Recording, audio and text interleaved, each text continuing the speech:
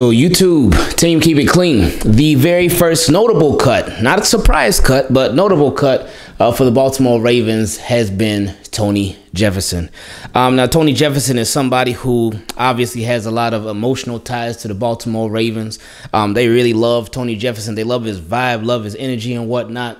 Um, but him being released, it, it doesn't come as a surprise to me. Um, and at the same time, while I don't think it's a surprise, I also don't necessarily think that this is the end of the road with the Ravens with Tony Jefferson uh, because they have some options here. But Tony Jefferson also has some options here.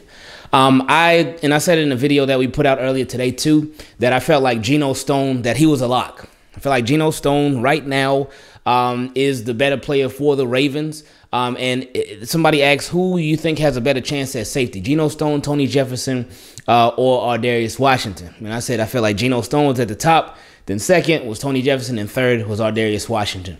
Uh, so we'll see how the rest of the roster plays out. Um, but with Tony Jefferson being cut, he could end. Up, it could be a couple of things. One, he could, could get cut, and Ravens could be like, "Oh, we're done. That's a wrap. We're finished. That's it." And then he could move on. I know one of my guys from the video earlier, he suggested, oh, maybe Wink might uh, recruit Tony Jefferson to the Giants. We'll see. Um, but or another option that Tony Jefferson would have is if somebody else wanted him. If another team decided, hey, Tony Jefferson, what's up, man? And he say, oh, hey, what's up? They start talking, and boom, he ends up going somewhere else.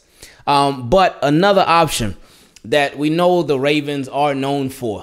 Uh, I know a lot of times they're called the, the handshake deals to where the Ravens will cut a player, but they'll come to a verbal agreement. Now, it's not a contractual agreement, so somebody could change their mind and be like, "Oh, I'm out." Like, shout out to Ben Mason. But anyway, um, they could come to a uh, handshake deal where Tony Jefferson could be like, "All right, you cut me, I get it. I know you got to do your whole roster thing and the maneuvering because this is all this is all part of it. We've seen it before with the Ravens plenty of times." Uh, and we, we will see it plenty more times too. But where they'll cut a player but they will expect that player to, all right, after we get through this initial 53 man roster, all right, we'll sign you back. We'll bring you back. Now, with that, the Ravens, if Tony Jefferson agreed to that too, the Ravens would have two options at that point. They could put Tony Jefferson back on the active roster, or they could put Tony Jefferson on the practice squad. So if they put him on the practice squad, that would give them even more flexibility with Tony Jefferson. But then at the same time, it would depend on how much you really love them like that. And if you're willing to cut him uh, and let him sort of test the market or go through waivers and whatnot, then you know that there's an opportunity that he has to sign with another team. So if he's on a practice squad, then another team could pluck him from Ravens practice squad. Uh, so it's just it's just a matter of seeing how the Ravens maneuver this thing. I think he's going to end back with the team, whether it's on the active roster or the practice squad. We'll see. Um, but I, I just again, this is not a surprise. But uh, I just because because after the first preseason game, it was like, oh, okay, all right, Tony Jefferson, we see you.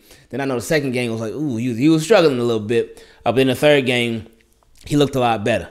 Um, so it's it's just one of those things where I, I, expect him to be back in some way, form, or fashion. But at the same time, if Tony Jefferson decides, hey, he want to flap his Ravens wings somewhere else, you can't be mad at him.